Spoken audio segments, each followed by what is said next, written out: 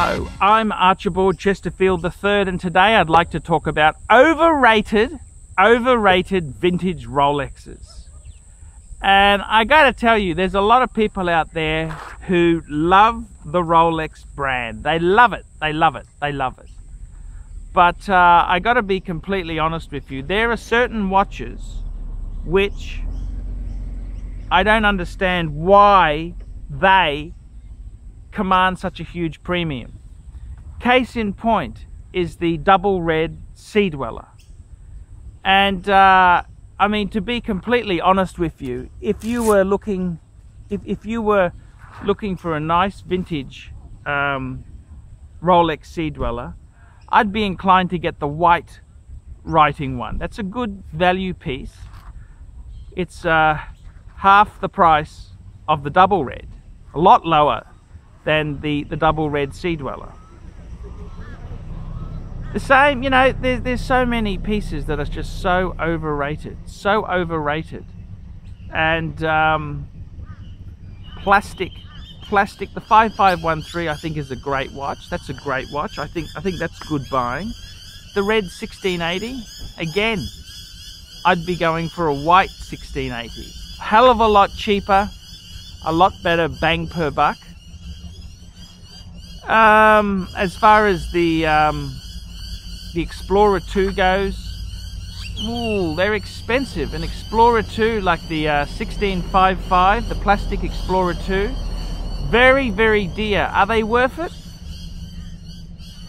I think they're a very niche type watch there.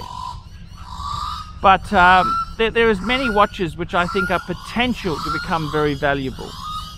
Things like the um, the Omega Flightmaster, Speedmasters, Speedmaster Mark II, all of those sort of on the side type watches, they're they're equally as good as some of these Rolex brethrens. And uh, I, I really think the red, the red writing Sea Dweller or the uh, the Submariner is the most overrated, overrated waste of money a collector could buy. Okay, so there you go. I'm going to put my, my, my, my head on the block here. I think they're overrated and I don't think they're worth the money. And uh, the scary part is there, there is so many imitation dials and is it a service dial or original dial? There's so many things you've got to be so careful of and that dial controls so much of the value to it. So I don't know what to say really. It's um, it's just crazy. We specialize here in pre-owned Rolex watches. Rolex watch is a very special timepiece and we always do the servicing exactly as factory specifications. We buy a pre-owned piece and we put it into brand new condition. We have Rolex certified technicians working on that. We completely disassemble the piece, we adjust and polish and change every single part of the watch. You have to have certified watchmakers that know what they're doing. If you have an expensive car, you're just not going to bring it to any mechanic that doesn't know what they're doing. You spend $5,000, it's like if you put money in the safe deposit box. And one or two years from now, you will keep having your $5,000. We have to spend a lot of money to get all this equipment together, but makes me feel I'm doing what I'm supposed to do. It's not a question of money, it's my passion.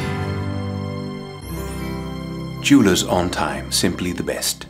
So, in many ways, a lot of these uh, vintage pieces are fucking overrated. They are so overrated. The uh, the double red Sea Dweller, one of the most overrated of watches of all time.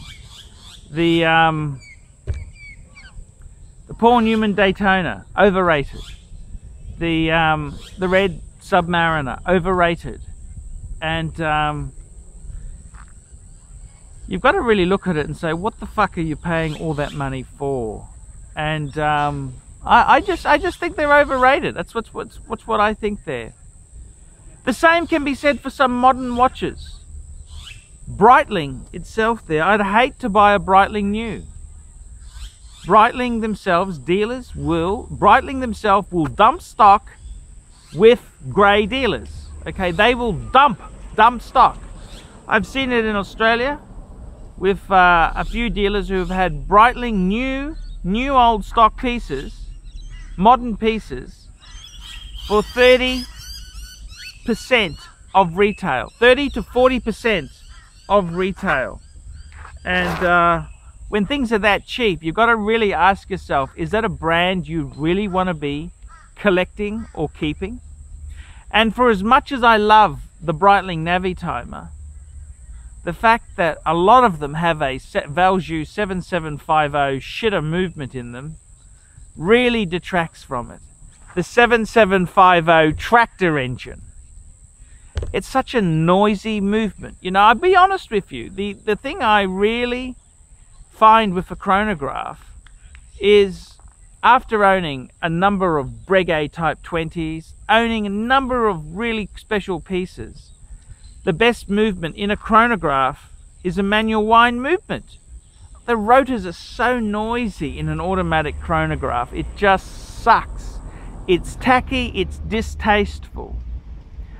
I'm Archie Luxury reporting on overrated watches. Tell me what you fuckers think of that.